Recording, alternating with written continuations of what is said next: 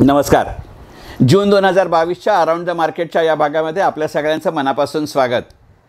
आपल्याला सगळ्यांनाच कल्पना आहे की दर महिन्याच्या शेवटच्या शनिवारी खरं म्हणजे आपण अराउंड द मार्केट हा भाग सादर करत असतो. यावेळी काही अपरिहार्य कारणांमुळे त्याच्यामध्ये काही दिवसांचा उशीर होतो आहे त्याबद्दल सुरुवातीलाच आपल्या सगळ्यांची क्षमा मागतो दिलगिरी व्यक्त करतो. जून महिन्याकरता जर असा अराउंड द मार्केटचा विचार करायचा झाला तर पटकन जाणवणारी गोष्ट अशी आहे की मे महिन्यामधलाच एक कल शेअर बाजाराच्या निर्देशांकांकरता मग तो बी एस सीचा सेन्सेक्स असू दे किंवा एन एस सीचा निफ्टी असू दे जून महिन्यामध्येही सुरू राहिला आहे जून महिन्यातली उलाढाल सुरू होत असताना आपल्या बी एस सीचा सेन्सेक्स हा साधारणपणे साडेपंचावन्न हजार पंचावन्न हजार पाचशे सहाशेच्या पातळीवरती होता. अठ्ठावीस जूनला सकाळी हा व्हिडिओ रेकॉर्ड करत असताना तोच निर्देशांक बावन्न हजार आठशेच्या आसपास आहे. एन एस सीचा निफ्टी जो सोळा हजार पाचशे किंवा सोळा हजार सहाशेच्या पातळीवरती होता तोही आता पंधरा हजार आठशेच्या पातळीवरती आलेला आहे.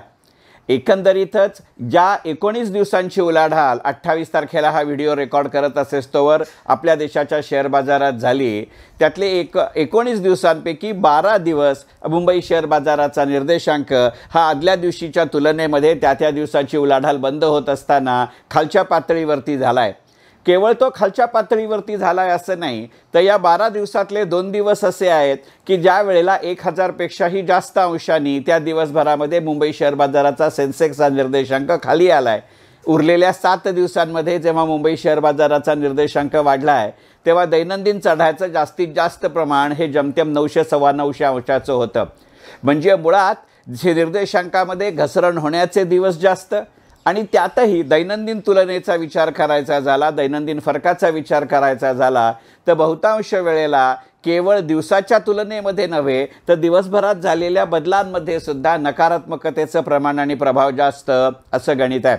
पण सुदैवानं आत्ता आधीचे दोन तीन दिवस किंवा जून महिन्यातल्या वीस तारखेनंतरचे दोन तीन दिवस हे मुंबई शेअर बाजाराचा निर्देशांक सातत्यानं वरच्या पातळीवरती बंद होतोय आणि हे काही आठवड्यांच्या कालखंडानंतर होत आहे ही एक चांगली गोष्ट आहे. दोन गोष्टी इथं लक्षात घेतल्या पाहिजेत की मे आणि जून या दोन्ही महिन्यांमध्ये एकंदरीतच व्याजदर चढे राहिले महा पेट्रोलचे दर चढे राहिले महागाईचे दर चढे राहिले. ही परिस्थिती काही केवळ आपल्याच देशामध्ये होती अशातला भाग नाही. आणि त्याच्या बरोबरीनं अनेक इतरही गोष्टी एक वेगवेगळ्या प्रकारच्या अस्थिरतेचे संकेत देत होते. केवळ आपल्या राज्यामध्ये सुरू झालेली गडबड किंवा विधान परिषदेच्या आणि राज्यसभांचे निवडणूक यांचे निकाल आणि याचा बाजाराशी असलेला संबंध हे फार बादरायण होईल हे सुरुवातीलाच मान्य केलं पाहिजे. पण एकंदरीतच जगभरामध्ये या तेलाच्या किमती आणि उसळलेला महागाईचा दर हा मुद्दा मात्र इथे आवर्जून लक्षात घेतला पाहिजे. खरं सांगायचं म्हणजे एकंदरीतच जागतिक अर्थकारणात चढे राहिलेले व्याजदर आणि आपल्या देशाच्या शेअर बाजारा पुरेसा विचार करायचा झाला तर विदेशी वित्त संस्थांनी केलेली विक्री हे दोन त्याचे महत्त्वाचे घटक आहेत. अगदी मोकळेपणाने सांगायचं तर हे दोन विषय असे आहेत की यातल्या प्रत्येक विषयावरती एक स्वतंत्र व्हिडिओ केला पाहिजे. पण इथे एक मुद्दा आवर्जून लक्षात घेतला पाहिजे की गेल्या काही आठवड्यांमध्ये अमेरिकेच्या मध्यवर्ती बँकेनं म्हणजे फेडरल रिझर्व्हनं किंवा फेडनं जवळजवळ पॉईंट पंच्याहत्तर इतक्या टक्क्यांची एक रकमी एकाच वेळेला केलेली वाढ ही अनेक वर्षात न झालेली अशा स्वरूपाची वाढ होती. ह्याची चर्चा आधी अनेक दिवस सुरू होती. ते टप्प्याटप्प्याने वाढ करतील का एक रकमे करतील ते अतके पाऊण टक्क्यांची अशी वाढ एका वेळेला करतील की नाही? अशी चर्चा सुरू असतानाच बाजाराच्या स्वभावानुसार त्याचंही डिस्काउंटिंग आपल्या निर्देशांकात आणि एकंदरीतच जगभराच्या भांडवल बाजाराच्या उलाढालीमध्ये झालेलं होतं. आणि प्रत्यक्षात जेव्हा ही पॉईंट पंच्याहत्तर किंवा पाऊण टक्क्यांची का वाढ झाली त्याच्यानंतर मात्र शेअर बाजाराचे निर्देशांक हे स्थिरावलेत. आता याच्याहून काही वाईट जास्त होणार नाही असा त्याच्या मागचा संकेत आहे.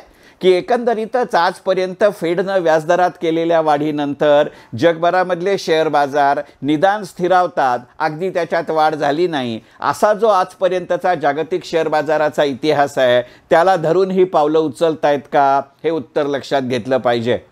केवळ फेडमधल्या व्याजदरांचाच आपल्या देशाच्या निर्देशांकातल्या उतरणीवरती परिणाम झाला किंवा ते त्याचं कारण आहे अशातला भाग नाही.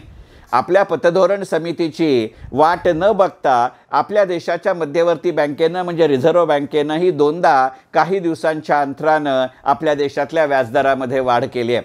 आणि त्यामुळे आधीच फेडचं धोरण आणि त्याची रिओढणारं रिझर्व्ह बँकेचं धोरण याचाही शेअर बाजाराच्या निर्देशांकावरती जरूर परिणाम झाला. पण असं विधान करत असताना किंवा अशी स्वतःची समजूत घालत असताना आपण एक गोष्ट लक्षात घेतली पाहिजे. की एकंदरीतच करोना सुरू झाल्यानंतर जगातल्या अनेक देशांच्या अर्थव्यवस्थांमध्ये तिथले तिथले व्याजदर हे कमी केले गेले. परंतु जगातल्या इतर अनेक देशांनी ज्या प्रमाणामध्ये करोनाचं निमित्त देत करोनाचं कारण देत करोनावरचा उपाय म्हणून काही आपण म्हटलं तरी ज्या प्रमाणामध्ये आणि ज्या वेगानं व्याजदर कमी केले होते त्या प्रमाणामध्ये आणि त्या वेगानं आपल्या देशाचे मध्ये व्याजदर कमी झालेले नव्हते. आणि त्यामुळे मुळातच आपल्या देशात रिझर्व्ह बँक किती प्रमाणामध्ये येणाऱ्या काळामध्ये व्याजदर वाढवू शकेल याला एक अंगभूत मर्यादा आहे. कारण मुळातच जे मोठ्या प्रमाणावरती कमी केले नव्हते ते येणाऱ्या काळामध्ये जास्त दराने वाढतील अशी शक्यता नाही. आणि त्यामुळेच हे खरं सांगायचं म्हणजे बाजाराच्या दृष्टीने एक सकारात्मक उदाहरण आहे. आणि त्याच्याच बरोबरीनं इथं आवर्जून लक्षात घेण्याजोगी एक गोष्ट अशी आहे की रिझर्व्ह बँकेनं जरी व्याजदरामध्ये वाढ केलेली असली तरी त्या प्रमाणात आणि त्या वेगानं अगदी सार्वजनिक किंवा सरकारी बँकांसहित कोणत्याही बँकेनं आपल्या व्याजदरांमध्ये अजूनही वाढ केलेली नाही. नाममात्र वाढ अनेकांनी जरूर केली असेल परंतु एकंदरीतच हे पाऊल फार काळ आपल्या देशात झिरपणारं नाही हे शेअर बाजाराच्या दृष्टिकोनातनं सकारात्मक असं धोरण आहे. पण इथे अजून एक गोष्ट लक्षात घेतली पाहिजे की जर खरोखरच शेअर बाजाराच्या निर्देशांकानं येणाऱ्या काळामध्ये उसळी घेतली त्याच्यामध्ये वाढ झाली निदान आहे या पातळीवरती सकारात्मकदृष्ट्या तो स्थिरावला तर एक गोष्ट जी गेल्या काही आठवड्यांमध्ये झाली नव्हती ती पुन्हा सुरू होईल का याचा विचार केला पाहिजे. याचं एक महत्त्वाचं धारण किंवा उदाहरण म्हणजे आपल्या सगळ्यांच्या असं लक्षात आलं असेल की L I C I P ओच्या पतनानंतर आणि एकंदरीतच त्याचे L I C I P ओला प्रतिसाद चांगला मिळाला. परंतु एल आय सीचे शेअर्स शेअर बाजारामध्ये नोंदणीकृत लिस्टेड झाल्यानंतर मात्र सातत्याने त्याचे बाजारभाव कोसळले.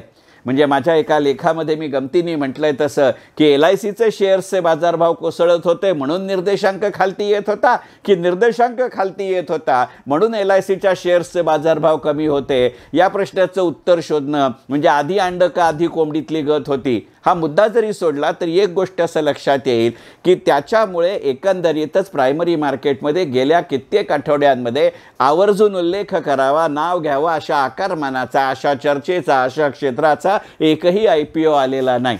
गेल्या काही महिन्यांमध्ये आपल्या देशामध्ये म्युच्युअल फंडाचाही नवीन एन एफ ओ म्हणजे न्यू फंड ऑफर ही आलेली नाही. मग एकदा शेअर बाजाराचे निर्देशांक स्थिरावायला लागले की जे इतका काळ आडवून धरलेले किंवा न आलेले असे आय पी ओ आणि एन एफ ओ हे पुन्हा आपल्या देशात सुरू होतील का याचा विचार करावा लागेल. तसं जर झालं तर शेअर बाजाराचे निर्देशांक स्थिरावण्याचा परिणाम किंवा सकारात्मक परिणाम हा म्युच्युअल फंड किंवा प्रायमरी मार्केटवरती जास्त प्रमाणामध्ये होऊ शकतो. एक त्याच्याच बरोबरीने लक्षात घेण्याजोगी गोष्ट अशी आहे की साधारणपणे प्रायमरी मार्केटमधले आय पी ओ आणि म्युच्युअल फंडांचे एन एफ ओ याच्या बरोबरीने शेअर बाजाराला प्रतिस्पर्धी असा उभा राहणारा घटक हा म्हणजे आपल्या देशातली टॅक्स रिलेटेड इन्व्हेस्टमेंट किंवा कर बचत करण्यासाठी कराचं प्रमाण कमी करण्यासाठी आपण टॅक्स रिलेटेड इन्स्ट्रुमेंट्समध्ये करत असलेली गुंतवणूक. साधारणपणे एकंदरीतच वर्षभरामध्ये ती कधीही गुंतवणूक करता येत असली तरी फार मोठ्या प्रमाणावरती ती गुंतवणूक आपल्या देशामध्ये फेब्रुवारी आणि मार्चच्या महिन्यामध्ये केली जाते. जून जुलैमध्ये त्याचा प्रभाव परिणाम आणि प्रतिसाद हा अत्यंत कमी असतो. या दोनही घटकांचा परिणाम येणाऱ्या काळामधल्या शेअर बाजारातल्या घडामोडींमध्ये होईल हे अत्यंत उघड आहे. सुदैवानं जरी शेअर बाजाराचा निर्देशांक कोसळत असला व्याजदरामध्ये वाढ होत असली पेट्रोल आणि डिझेलचे भाव स्थिरावत असले महागाईच्या दरामध्येही वाढ होत असली तरीसुद्धा आपल्या देशातल्या जी एस टीचं कलेक्शन हे अत्यंत चांगलं होतं.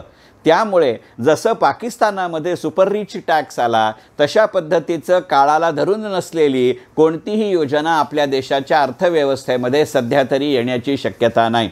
आणि एकंदरीतच अशा सगळ्या घटकांचा परिणाम हो पाह जाता मे आणि जून महिन्याच्या पहिल्या पंधरा वीस दिवसांमध्ये ज्या पद्धतीनं आपल्या शेअर बाजाराच्या निर्देशांकानं ही उतरती कळा दाखवली होती हे प्रमाण येणाऱ्या काळामध्ये मोठ्या प्रमाणावरती कमी झाल्या वाचून राहणार नाही ही गोष्ट लक्षात घेतली पाहिजे. आणि अशा सकारात्मक निदान सावधानात्मक किंवा स्थिरतेच्या कारणा काळामध्येच आपल्या देशातल्या अनेक कंपन्यांचे वार्षिक निकाल जाहीर होत असतील. एकंदरीतच डिव्हिडंडचं प्रमाण त्यामुळे येणाऱ्या काळात कसं राहील याचाही विचार करणं सोयीचं जाईल. कारण कितीही करोनाचा काळ असला तरी क आर्थिक वर्ष दोन हजार वीस एकवीस आणि आर्थिक वर्ष दोन हजार एकवीस बावीस या काळामध्ये आपल्याला फार मोठ्या प्रमाणावरती कंपन्यांनी लाभांश दिले ही गोष्ट उघड होती. कारण करोनाच्या काळामध्ये नव्यानं कोणतीही प्रक्रिया किंवा प्रकल्प सुरू करण्याच्या मनस्थितीमध्ये आर्थिक स्थितीमध्ये असले तरीसुद्धा अनेक कंपन्या नव्हत्या. आता करोनाचं सावट त्या प्रमाणावरती आपल्या देशामध्ये किंवा जगातल्या कोणत्याही देशांच्या अर्थव्यवस्थेवर राहिलेलं नाही. आताच्या काळामध्ये करोनाची जी चर्चा होते ती सोयीस्कर किती आणि वस्तुस्थिती किती याचाही विचार केला पाहिजे.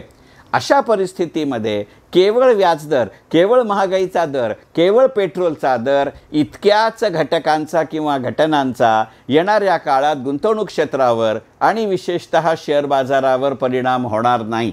अशा स्थिरतेच्या काळामध्ये एकंदरीतच आपल्या पोर्टफोलिओचा अत्यंत तटस्थपणाने त्रयस्थपणाने विचार करण्याची ही सुवर्ण संधी आहे. ज्या शेअर्सने आपल्याला पुरेसा परतावा दिला आहे त्याचा या ना त्या स्वरूपामध्ये प्रॉफिट करायला किंवा प्रॉफिट बुकिंग करायला हरकत नाही असा हा काळ आहे. अनेकदा आपल्या असं लक्षात येतं की आपल्या पोर्टफोलिओमध्ये काही शेअर्स हे त्यांची उपयुक्तता संपल्यानंतरही आपण सांभाळत असतो.